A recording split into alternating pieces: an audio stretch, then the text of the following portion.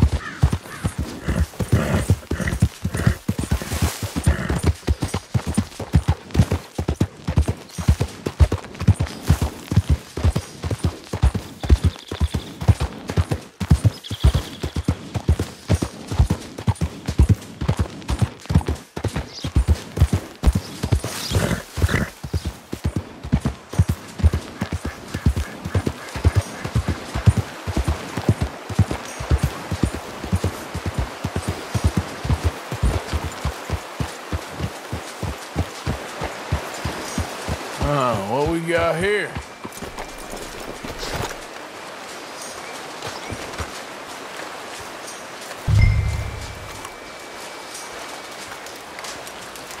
You Benedict Allbright?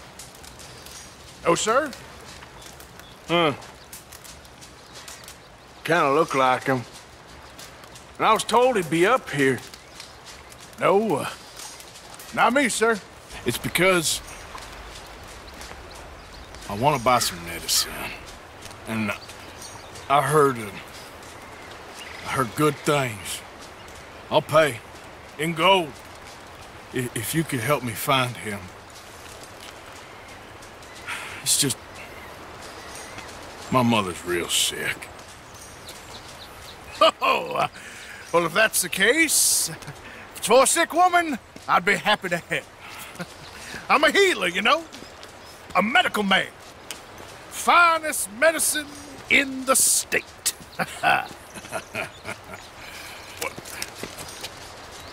Game's over, mister. Put your hands up. I'm taking you in. Taking me in? What for? Apparently that stuff you're pushing is killing folk. And there's a price on your head. I don't know. It ain't my business. Come on, partner. That's crap. I'm a healer. I got an aura. I speak to spirits. I'm a scientist. Folks get real angry for no good reason. This, this is a mistake. Keep your hands up, buddy. They only want you for questioning. I have to insist that this is a mistake. Don't be a fool. Hold on. I'm slipping. Oh, shit. Ah!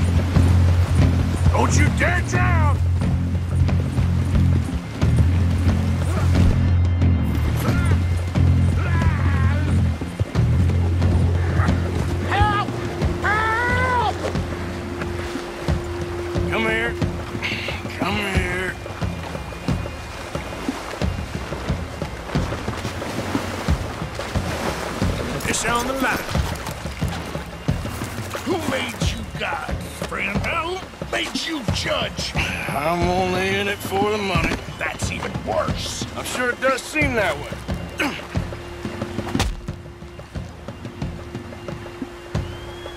All right, let's take you in. Hey, you don't mind, do you?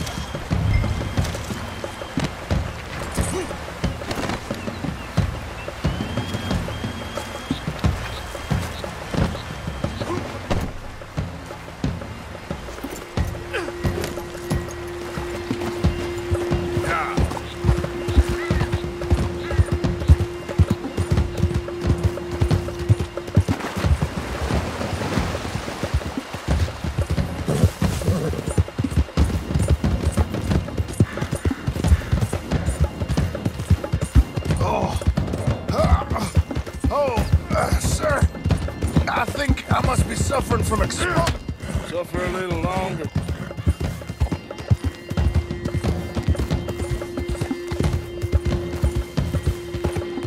Oh. oh, I seem to keep blacking out. Oh, sir, I must warn you, my temperature is subnormal. I have medicine in my pocket. Would you pass it to me, please? You do seem to keep blacking out. This, uh, I got nothing to do with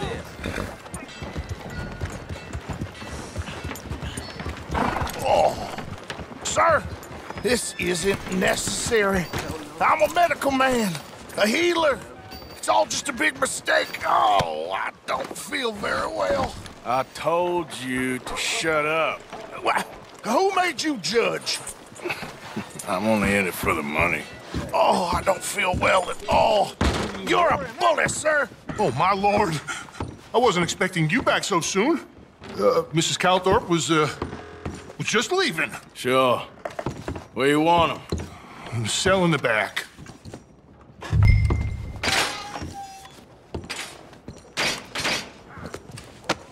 Oh, oh, there's been some terrible mistake. I never did it. Any of it. I thought I told you to shut up, partner. Oh, but I told But you. nothing. Shut up. And, uh, good luck. It's been real fun. You ain't much of a man. You ask folks for forgiveness, you remember this, partner. I've already forgotten. Now, sure, um, how much was you offering? Uh, $50. Here. Thank you. Madam, please, remember what I told you.